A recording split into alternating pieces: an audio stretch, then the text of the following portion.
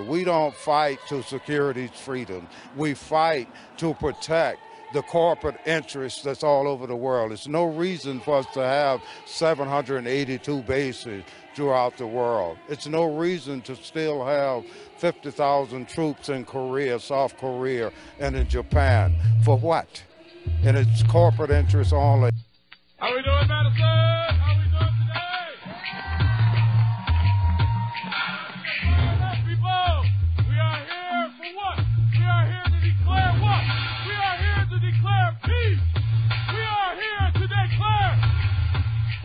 Forward and to tell the world that in America, everyone does not agree with the policies of this president. Everyone does not agree with it.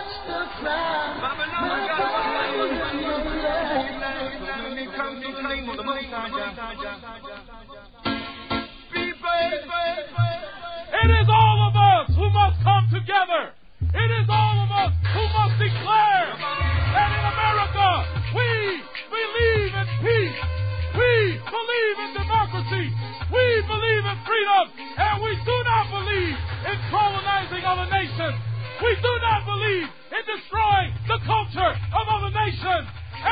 not believe in declaring a corporate war so that our armies can be used by the corporations, the multinational oil barons, to take over the oil of a sovereign nation.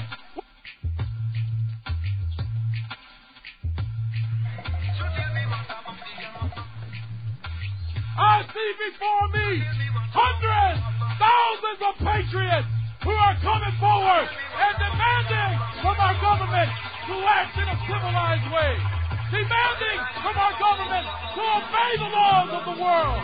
Demanding from our government to continue to work within the United Nations.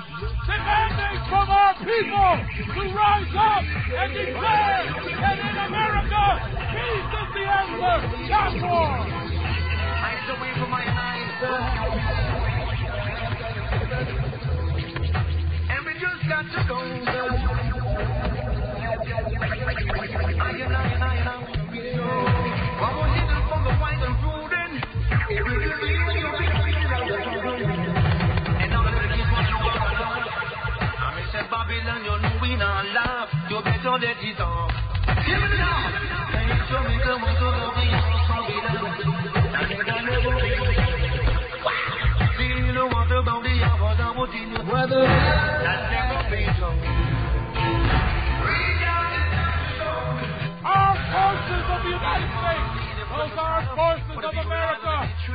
defend our rights, defend our country, defend our democracy.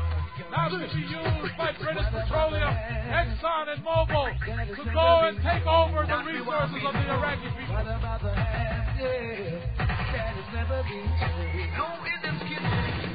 The United States must act within the civilized order of the world. We cannot continue to bully nations that are not able to defend themselves. It must act as a leader, and a leader acts as a statesman. A leader acts as a diplomacy. A leader does not use military power to destroy other nations, to take over other nations, and to destroy that nation as a tyrant.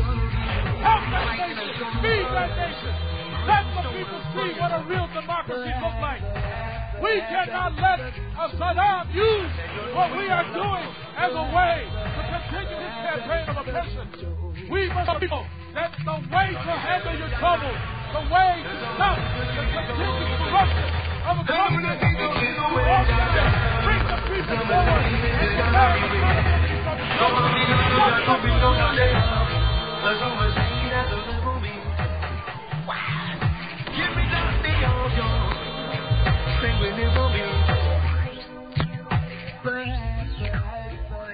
I see us all from all walks of life.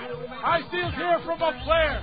I see us here. I see us here from La Crosse, from Milwaukee.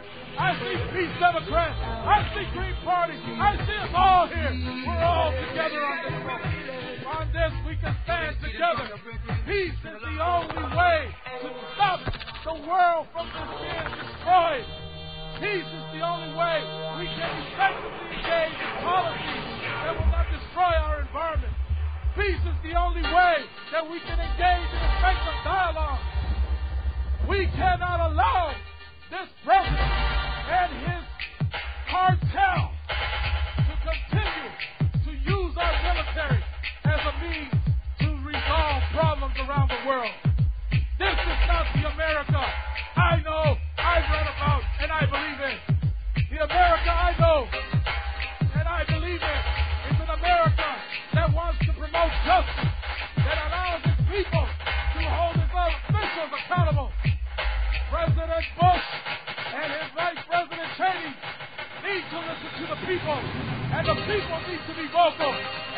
are going to be vocal today.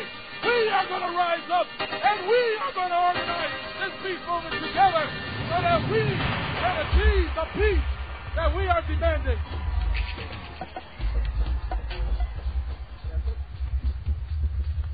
So I leave you, my fellow patriots, I leave you with this. There was once a commandant in the Marine Corps. His name was Smedley Butler.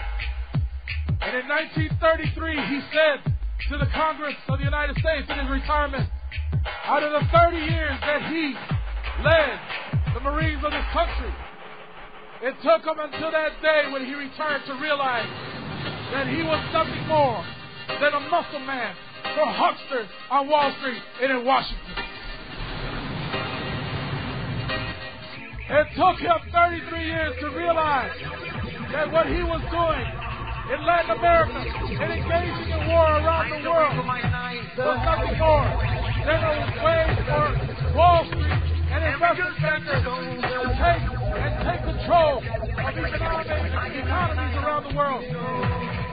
And he said, if I had known then what I know now, I would have never lifted a rifle to fight the war for this country. Our men and women in uniform deserve to fight, to fight for something they truly believe in. Fighting for British petroleum, fighting for Mobil, fighting for Exxon. It's not the way our military should be used.